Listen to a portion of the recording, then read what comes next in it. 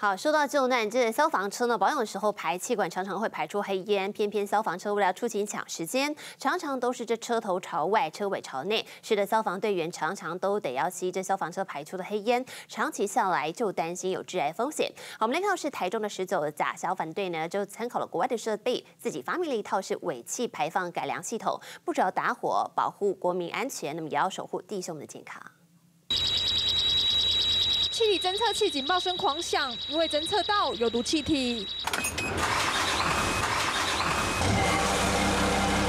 消防车排出浓浓黑烟，原来有毒气体从这里来。在消防车保养时排出的废气，就正对着厅舍，让打火弟兄得天天吸废气。早上发车的时候都吸到一些废气，其实应该每天发都会闻到啦。然后对身体有什么影响，应该多多少少也会有啦。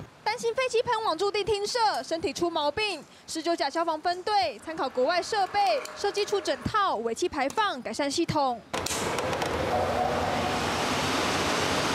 消防车保养时的废气，还特别采用磁吸式，万一消防队临时有勤务，消防车可以说走就走。味道就真的完全就没有了，它其实回收的效果还蛮好的。国外来说，以模组进来，他们尾气改善进来的话，这个价格都会落在十几二十万起跳哦以上哦，我讲的就是以上。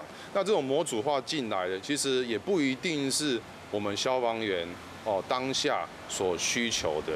没有预算顾健康，自己动手 DIY。消防队员不只会打火救人，也意外展现惊人才华。